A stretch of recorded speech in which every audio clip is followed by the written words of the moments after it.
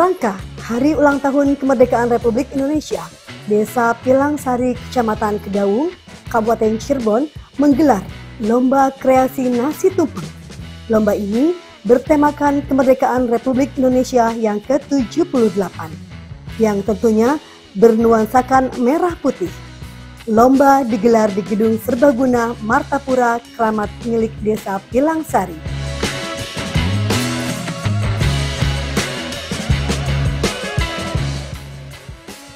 Warga sangat antusias mengikuti lomba tumpeng ini.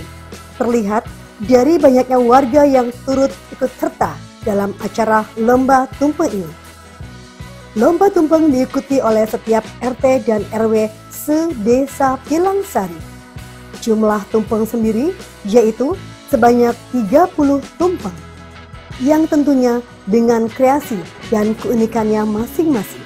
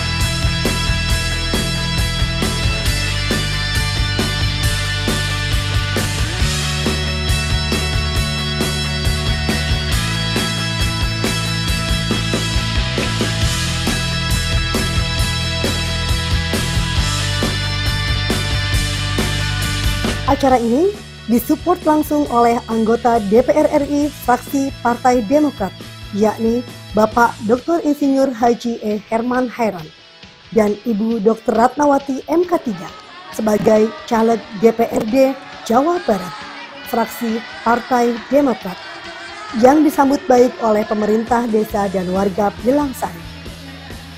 Alhamdulillah pada kesempatan pagi hari ini bersama-sama kita bisa berkumpul dalam rangka acara lomba tumpeng ya per RT yang diikuti oleh 30 peserta tumpeng dalam rangka Hari Ulang Tahun Republik Indonesia yang ke-78 bertempat di Gor Martapura Keramat, Desa Pilangsari, Kecamatan Kedawung. Baiklah sebelum acara kita mulai bersama-sama marilah kita buka acara ini dengan membacakan basmalah. Kepala Desa Pilangsari Bapak Muadi menuturkan dirinya turut bersuka cita dengan digelarnya lomba tumpeng ini. Karena mengingat dari ramainya acara ini dan masyarakat ikut serta berpartisipasi dalam HUT RI yang ke-78. Merdeka! Merdeka! Merdeka! Luar biasa. Selamat datang sekali lagi kepada Bapak Dr. Insinyur H. Herman Heron yang telah memberikan inspirasi kepada pemerintah Desa Bilangsari dan juga seluruh elemen masyarakat Desa Bilangsari yang pada hari ini tepatnya hari Ahad tanggal 20 Agustus 2023 Bapak Haji Herman Heron telah memberikan inspirasi dalam menyelenggarakan lomba tumpeng setingkat RT se-Desa Bilangsari. Mudah-mudahan ke depan Desa Bilangsari Bapak lebih baik lagi, lebih maju lagi dan ini adalah untuk inspirasi saja Pak nanti ke depan agar seluruh elemen masyarakat Desa Bilangsari baik bapak-bapak, ibu-ibu, para ketua RT dan ketua RW semangat dalam menyelenggarakan HUT RI yang ke-78. Pertama ini adalah sebagai rasa syukur di Hari Kemerdekaan Republik Indonesia. Tentu kita memaknai rasa syukur ini kehadirat Allah Subhanahu wa taala. Karena kemerdekaan juga adalah berkat rahmat Tuhan yang Maha Kuasa. Yang kedua, tentu mensyukuri bahwa alam kemerdekaan ini bisa kita nikmati bersama sampai hari ini. Bayangkan kalau kita belum merdeka, nggak bisa nih ngumpul-ngumpul gini. Ya Pak Wawin saya, kalau nggak merdeka, kita pasti ini sudah dibubarkan. Orang nggak boleh kumpul-kumpul, nggak boleh ngobrol-ngobrol, apalagi bicara masalah negara. Karena dalam sistem penjajahan tentu semuanya dilarang. Gitu. Termasuk kegiatan-kegiatan lingkungan yang juga dilarang. Oleh karenanya rasa syukur. Yang ketiga, syukur itu tentu kita berterima kasih kepada para pahlawan, para pejuang bangsa, para kusuma bangsa yang dahulu pernah memerdekakan negara ini dengan darah dan air mata, jiwa dan raga, tidak peduli meninggal ataupun hidup tanpa pamrih tidak ada permintaan. Kalau merdeka saya jadi dirjen. Kalau merdeka saya jadi guru. Saya kalau merdeka menjadi bupati itu tidak ada. Dulu mereka berjuang hanya untuk memerdekakan bangsa Indonesia dari penjajah. Yang keempat, tentu ini adalah bagian kebersamaan saya dan istri saya, Dr. Ratnawati, untuk membina desa-desa di wilayah konstituen pemilih saya. Saya sudah 14 tahun menjadi anggota DPR RI dari dapil sini. Oleh karenanya saya sudah dua kali dalam bulan dua bulan terakhir ini. Pertama kemarin mengadakan empat pilar kebangsaan di sini. Yang kedua kemudian uh, hari ini mengadakan kegiatan ini. Kalau dengan Pak Kuwu sering saya ketemu. Dengan Pak Ketua BPD nanti sering ketemu kawannya. Yang terakhir, yang terakhir tentu perlombaan ini juga untuk menumbuhkan rasa kebersamaan sosial di antara masyarakat desa Bilang.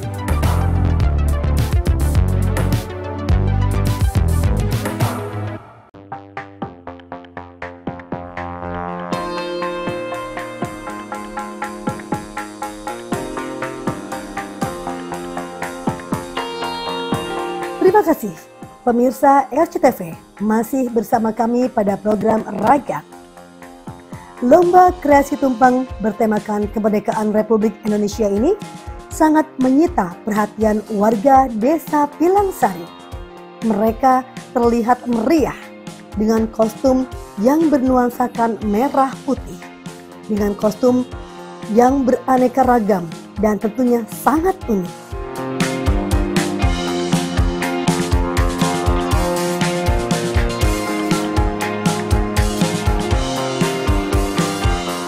Herman Heron sendiri, tujuan dari lomba ini adalah untuk mempererat hubungan antara warga dan pemerintah desa Pilangsari. Juga menjadi ajang silaturahmi antar warganya. Dan yang terpenting adalah untuk selalu mengingat perjuangan para pendahulu yang sudah banyak berkorban. Hari ini saya bersama dengan Pak Kuwu dan istri saya Bu Kuwu dan Dewan Juri mengadakan lomba tumpeng di Desa Pilangsari, Kabupaten Cirebon. Alhamdulillah meriah diikuti oleh 30 peserta dari 30 rukun tetangga di Desa Pilangsari. Dan tadi saya mencicipi langsung semua masakannya enak-enak. Dan mau uh, tumpeng maupun dengan kelengkapannya, mie-nya, uh, sambal gorengnya, semuanya enak. Juri saya kira kesulitan tadi untuk menentukan siapa pemenangnya. Terbukti dari lamanya untuk menilai, berdebat. Karena apa? Semuanya memiliki nilai dan memiliki kriteria yang tentu Dewan Juri agak sulit untuk menentukan pilihan. Tetapi akhirnya eh, tentu ada juara satu, juara dua, juara tiga, dan kami menilai yang paling enak juara favorit. Meskipun dari sisi penampilan memang kalah dengan yang lain, tapi cita rasanya luar biasa. Jadi ini adalah sebetulnya bakat-bakat terpendam yang dimiliki oleh ibu-ibu makna ke depannya saya melihat bahwa ada potensi UMKM yang bisa dikembangkan. Banyak menurut saya hal-hal yang tentu ini menjadi potensi lokal. Salah satunya tumpeng dengan berbagai kemampuan memasak yang enak, ya ini bisa dikembangkan ke depan menjadi UMKM UMKM oleh Pak Kuwu dan seluruh jajarannya di Desa Pilangsari. Saya akan terus mendukung kegiatan-kegiatan yang bermanfaat dan mudah-mudahan tentu ini akan menjadi gairah baru di masyarakat. Selain ini akan lebih e, mendekatkan hubungan antar sosial masyarakat, akan mendekatkan hubungan antara masyarakat dengan kepala desa dan seluruh jajarannya. Dan mungkin saja menjadi komunikasi antar warga yang selama ini tidak pernah ketemu. Di sini ketemu dan tadi saya juga memberikan eh, hiburan-hiburan hadiah-hadiah hiburan yang tentu ini juga uh, menggairahkan. Selain makna utamanya adalah dalam rangka memperingati hari ulang tahun kemerdekaan Republik Indonesia ke-78. Karena ini adalah sebagai rasa syukur, tentu juga kami mengingat terhadap perjuangan-perjuangan yang dilakukan oleh para pendahulu kita semua, para pahlawan bangsa yang telah gugur maupun yang masih ada yang telah rela mengorbankan jiwa dan raganya. Saya kira kami mengucapkan selamat dan dirgahayu Republik Indonesia ke-78 Merdeka, Merdeka, Merdeka.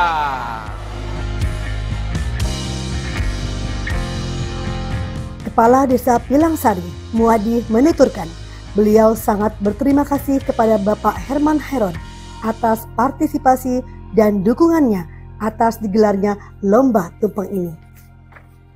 Dirinya juga berharap agar terlaksananya acara ini dapat menyatukan semua elemen masyarakat supaya menjadi guyup dan rukun.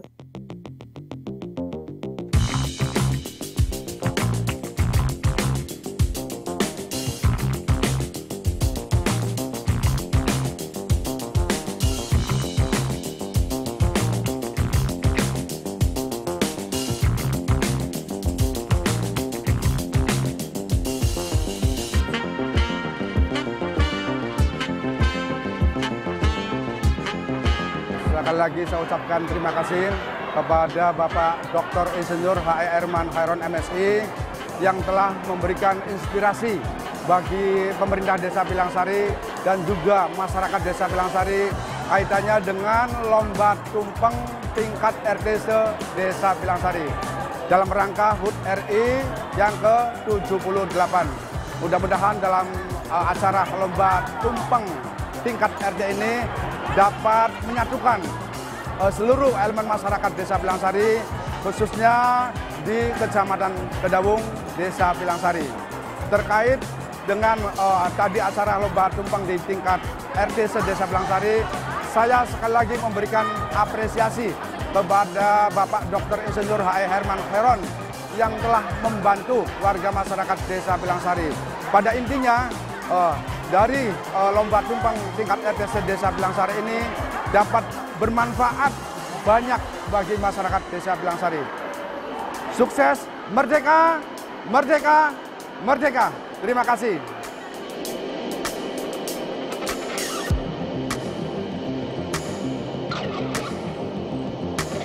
Lomba kreasi tumpeng ini langsung dinilai oleh para kompeten dalam bidangnya, antara lain istri dari Bapak Herman Hairon sendiri, yaitu Dr. Ratnawati MK3 dalam bidang nilai gizi, kemudian Jubaida dalam bidang tata boga, dan istri dari Kubu Desa Pilangsari, Ida Farida, Ketua Penggerak PKK dalam bidang penampilan.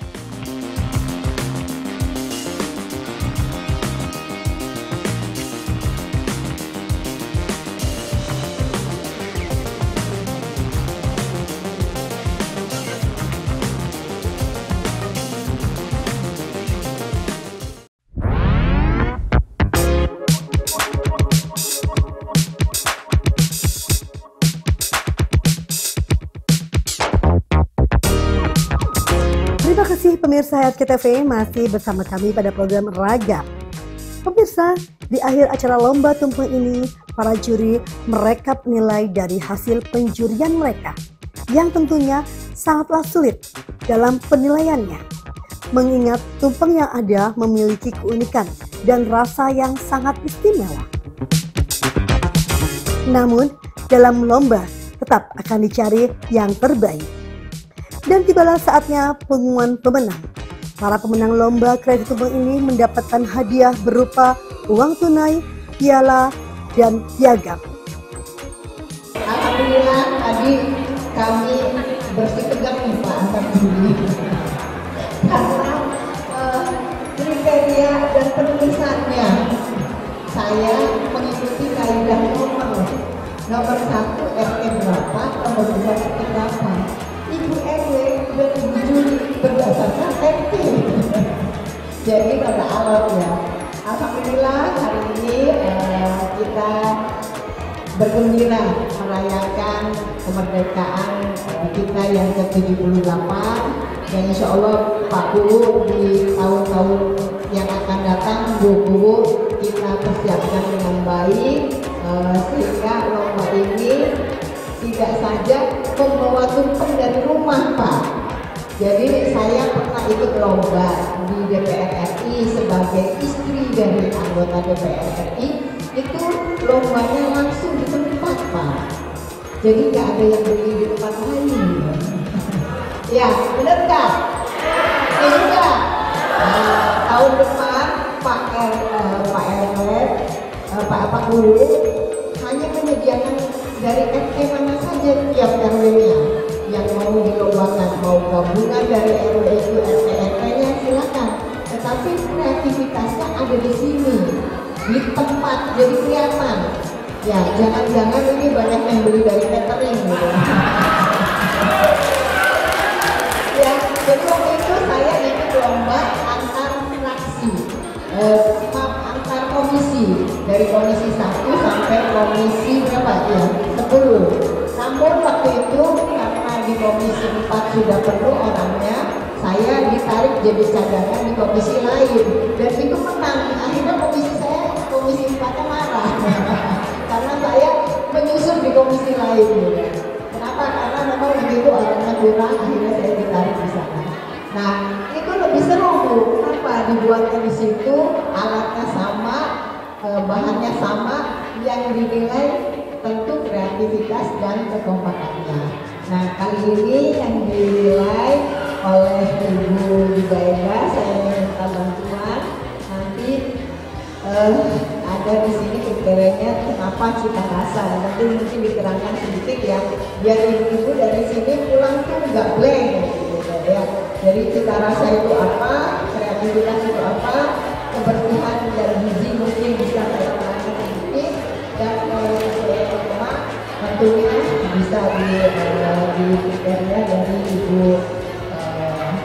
Beda dan Ibu Ida terima kasih sudah bisa menunjukkan eh, para ibunya di sini. Di sini, alhamdulillah tadi saya meminta eh, tambahan favorit. Sebetulnya kalau menurut kriteria Pak Herman tadi ada jengkolnya yang favorit Tetapi saya mengacu kepada Ibu Farida sebagai eh, guru tata boga di SMK ya. Oh, Pokja 4 si saya di Pokja 4 sehingga uh, saya mengambil kriteria favoritnya dari ibu dia. Di sini saya berbagi tugas dengan ibu dan kebetulan saya memegang cita rasa. Cita rasa itu sendiri ya bu ya tentunya. Yang kriterianya itu yang enak. Tapi semuanya enak bu. Cuman di sini ada yang kurang mateng. Kurang mateng itu kan dua mateng ya bu. Mungkin bikinnya terlalu malam jadi sehingga datang ke sini itu udah kering nasinya. Mungkin di situ. Terus yang kedua tema. Temanya di sini kan ada yang dikasih bendera begitu juga dengan menu.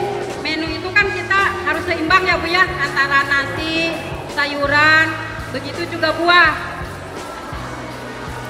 Dan yang ketiga, menurut saya kreativitas itu sendiri ya Bu ya.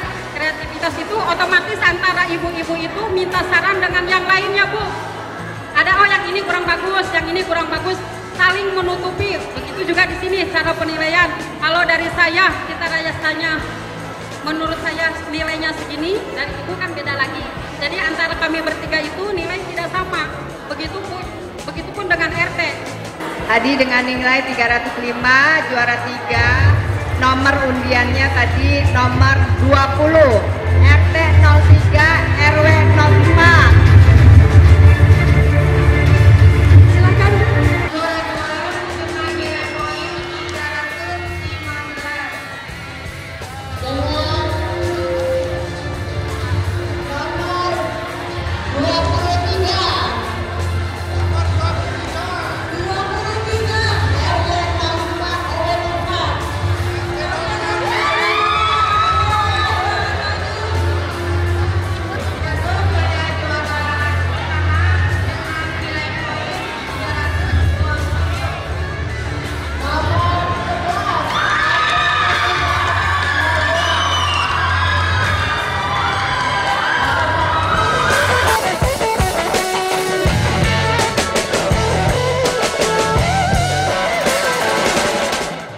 pemenang sangat bahagia. Tentunya dalam perayaan HUT RI yang ke-78 ini, masyarakat berharap agar makna dari kemerdekaan adalah kesejahteraan bagi seluruh rakyat Indonesia.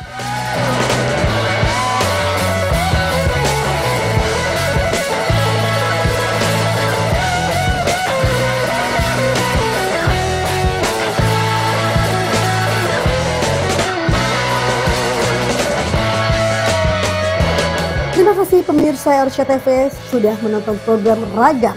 Tak terasa 30 menit sudah. Sampai jumpa di program Ragam selanjutnya. Sampai jumpa. Salam merdeka.